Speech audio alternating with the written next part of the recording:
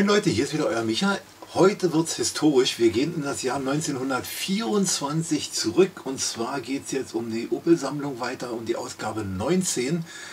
Sogenannte Opel 4-12 PS, der Opel Laubfrosch ist heute mal angesagt und den möchte ich euch gerne mal heute vorstellen.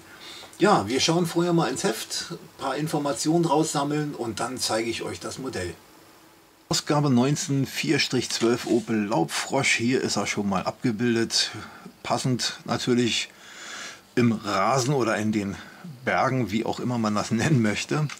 Auftakt zur Massenmotorisierung. Sein Spitzname Laubfrosch verdankte der Opel 4-12 keinesfalls einem Ursprung einem sprunghaften Fahr Fahr Fahrverhalten auf der Straße. Verantwortlich dafür war seine vornehmlich grüne Farbgebung. Ab 1924 hüpfte er in Rüsselsheim vom Band.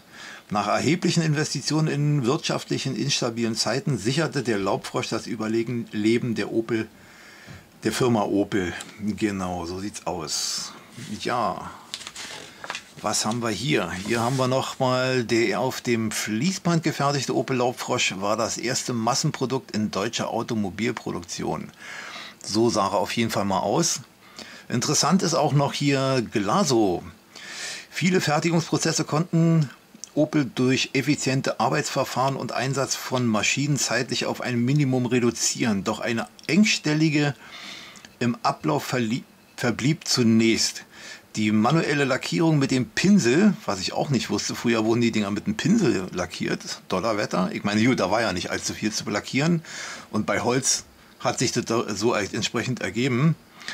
Ähm, und die lange Trocknungsphase, dann entfiel zunehmend die zeitintensive Farbauftragung bei den Holzkomponenten, da diese schrittweise durch Stahlteile ersetzt wurden. Ab 1922 verwendete Ford zuerst Ford den sogenannten Japan-Lack, der binnen 48 Stunden trocken war. Im Jahr entwickelte General Motors Nitrolack. Nun konnten die Lackierungen mit einer Spritzpistole schnell und einfach aufgetragen werden.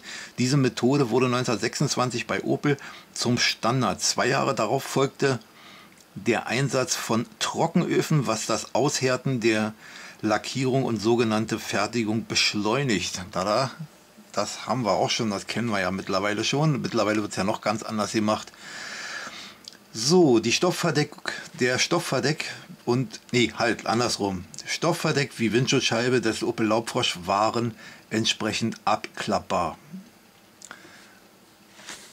Jo, dann blättern wir mal um. Der Opel 4-16 bildet ab 1925 die zweite Laubfrosch-Generation. Aber Laubfrosch ist ja da nicht mehr gegeben. Das ist ja eher Feuerwehrrot. Und adäquater Nachfolger Opel 1,2 Liter. Im Juli 1931 trat der Opel 1,2 Liter in die Fußstapfen des Erfolgsbringers Laubfrosch. Angetrieben von dessen Weiterentwicklung Reihen Vierzylinder mit größer, vergrößerten Hubraum und einer Leistung von 22 PS erreichte der Wagen eine Höchstgeschwindigkeit von 80 Stundenkilometern. Der Opel 1,2 wurde bis 1935 in verschiedenen Ausführungen angeboten, beispielsweise als zweitürige Limousine, Cabriolet, Cabrio-Limousine oder als Lieferwagen. Ja, hier sieht man also nochmal die Holzrahmenkonstruktion, die man früher viel verbaut hatte. Und hier das typische Heckform, also mit dem, mit dem Bootsheck kann man dazu sagen. Und einen ganz kleinen winzigen Kofferraum. Entsprechend dazu von dem Opel Laubfrosch. Natürlich, das Heckfenster war auch nicht sehr groß. Ob man da im Rückspiegel was sehen konnte, falls. Nee, ich glaube, der hat gar keinen Rückspiegel gehabt. Nee, glaube ich nicht. Und ähm, die Bedienung ist so einfach, dass sein Besitzer keinen Chauffeur braucht aus der Opel-Werbung. Gut, gehen wir mal ein bisschen ins Detail rein. Technische Daten 4-12 1924 Vierzylinder 951 Kubik 12 PS bei 2400 Umdrehungen. Heckantrieb, Dreiganggetriebe, Einscheiben Trockenkupplung. Offener Zweisitzer mit Bootsheck und Segeltuchverdeck. Starre Gabelachse mit Viertel-elliptisch Oh, was das schwere jetzt. Oh, Viertel-elliptische Auslegefedern. Starrachse mit viertelelliptischer Auslegungsfedern auf der Hinterachse. Lenkung Schneckensegmentlenkung. Die Kardanwelle wirkende Ach so, Moment, Bremsen auf die Kardanwelle wirkende Fußbremse, Handbremse hinten auf Trommeln wirkend. Länge 320, 3200 mm, Breite 1350 mm und die Höhe 1650 mm. Reifen 7, 15 x 115 Ballonreifen. Gewicht, Leermasse 650 Kilo, maximale Geschwindigkeit 60 Stundenkilometer. Ja, das war die ganze Entwicklung dazu. Und Innenausstattung, Lenkrad rechts, Lederpolster, Sitzbank, Tacho mit Kilometerzähler, Spannungsanzeige, Fernthermometer auf dem Kühler, wobei der hier fehlt. Winker und Scheibenwischer nachrüstbar. Winker waren ja die Teile, die hier an der Seite sind.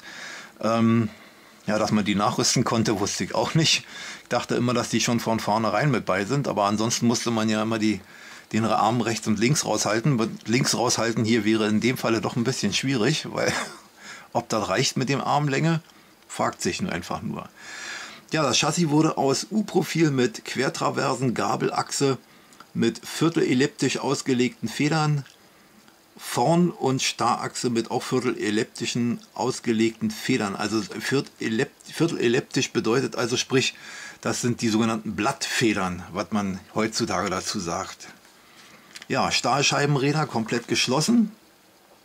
Und hier haben wir natürlich auch noch eine Kurbel, falls die Batterie mal nicht unbedingt so wollte, weil die Batterie war auf 6 Volt ausgelegt. Und damals war das alles nicht ganz so entsprechend gut. Oder was heißt gut? So, Volksautos aus dem Deutschland. Hier hatte vor, ersten, vor dem Ersten Weltkrieg war der Kauf eines Automobils nahezu ausschließlich einer privilegierten, vermögenden Oberschicht vorbehalten. Das änderte sich in den Jahren nach Kriegsende in den kleinen Schritten. Montagewerk des US-Herstellers Ford im Berliner Westhafen. Aha. Ja, hier haben wir nochmal verschiedene andere Fahrzeuge dazu. Uni äh, Hanomag Kommissbrot sozusagen. Und hier haben wir Opels feurige Raketenmission. Nach einem Eklat mit der obersten nationalen Sportkommission hatte sich Opel 1926 aus dem Rennsport zurückgezogen. Stattdessen sorgten die Rüsselsheimer mit Raketenantriebfahrzeugen für Furore. Kennen wir ja alle hier die RAK 2, erreichte auf der Avus 240 Stundenkilometer und stellte einen neuen Weltrekord auf. Und hier nochmal die Rack auf äh, Schienen Rack 3 256 Stundenkilometer, damit den Weltrekord des Schienenfahrzeuge. Gut, das war's erstmal. Jetzt schauen wir uns mal das Modell an. Hüpf, hüpf, hüpf. Hier ist der Opel Laubfrosch. Nein, natürlich nicht hüpft. Wie gesagt, gehüpft wird ja nicht. Er hatte ja die Farbe gekriegt aus, also den Namen gekriegt wegen der grünen Farbe hier. Und hier ist das Modell sehr leicht. Ist ja fast gar nichts dran, kein großartiges Blech. Das ist fast alles aus Kunststoff gemacht, das Modell. Und hier zeige ich euch das mal mit dem geschlossenen entsprechenden Reserverad. Und hier vorne sieht man auch noch die Kühlrippen. So müsste man das ganz gut sehen können. Das ist die Entlüftung für den Motor, wenn entsprechend die Luft abgeführt wird. Damals gab es ja auch noch keine ähm, Elektrolüfter, das sind ja alles starre Lüfter gewesen. Hier nochmal zu sehen schön das Trittbrett mit den entsprechenden Kotflügeln, dass es alles so hochgezogen ist. Jetzt ist ja alles komplett verarbeitet. Hier sieht man noch so schön die Scheinwerfer einzeln rausgegangen und der Kühler ist also, also das sogenannte Kühlergrill, wie man das heute kennt, ist es ja eigentlich kein Kühlergrill mehr in dem Sinne. Hier ist es noch genau so, dass das, was hier vorne Kühlergrill genannt wird, auch der wirklich der Kühler ist mit dem einfachen Rippen da drinne. Und hier wird also auch komplettes Wasser eingefüllt, hier vorne in dem Stotzen. Hier vorne, wo dieser kleine Stift ist, sollte normalerweise eigentlich, wie gesagt, der Thermometer drinne sitzen dass der hier so hoch steht. Hier ist es nicht eingebaut, warum auch immer. Ähm, kann natürlich auch sein, dass verschiedene Standardfahrzeuge ähm, auch, also als, als Zubehör vielleicht, andersrum gesagt, als Zubehör dieser Stift damit draufkommt. Ja, dann haben wir hier die kleine, die Scheibe hier zu sehen. Hier sieht man diese Stangen, die sind dazu, also hier an den Seiten sind äh, Rändelschrauben, die das dann halt entsprechend lösen und dann kann man die Scheibe dafür abklappen und ähm, weg, also nach unten klappen und wegmachen. Das hier links und rechts sind die sogenannten Winker, die hier an der, an der Seite dran sind, die hier schwarz gekennzeichnet sind damit halt, ähm, ja, man sagt, anzeigt, dass man halt abbiegen will. Dann haben wir hier oben einen Scheibenwischer, der von innen mit einer Kurbel dran ist. Das heißt also, man musste selber von Hand anlegen, dass man den Scheibenwischer betätigt und dann auch halbwegs freie Sicht bekommt. Also wie gesagt, auch nur halbwegs, weil an der Seite war noch gar kein Scheibenwischer mit dran. Dann haben wir hier vorne die Kurbel. Die Kurbel hat damit zu tun, dass das Ganze war ja auf 6 Volt ausgelegt. Manchmal im Winter oder bei kalten Temperaturen hat die Batterie nicht so richtig mitgemacht. Und dadurch konnte man hier den Motor entsprechend ankurbeln und damit starten. Ich habe mal ein, ein ähm, das war der Ford, glaube ich, mal gesehen, wie man den anstartet. Also das war gar nicht so einfach, dass man hier hinten Zwischengas eingeben muss und vorne kurbeln und alles war ziemlich kompliziert, hat eine ganze Weile gedauert.